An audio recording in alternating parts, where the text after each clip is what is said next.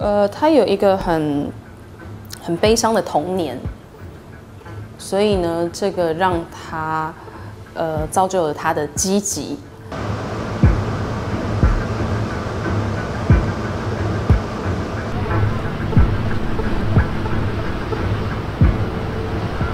那可是其实他心里还是有一块很空的地方，或呃会让他感觉有点冷漠。但是他其实是一个很正义的警察。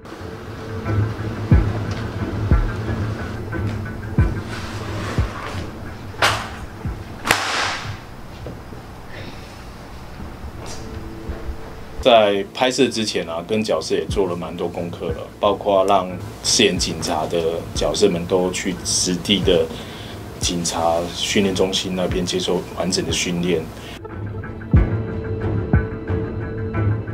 慢慢走，你的眼睛在哪里？有呃比较体能的，有点像是擒拿、柔道一些，然后也有学习如何手铐上铐。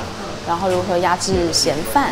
另外，我们还有做一些枪支的训练跟特种的训练。